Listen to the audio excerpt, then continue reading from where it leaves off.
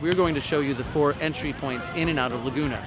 PCH, north and south, the 133, also known as Laguna Canyon, and Crown Valley Parkway. Forest Avenue is located directly across from Main Beach. It is lined with restaurants, art galleries, and a plethora of other tourist-friendly businesses.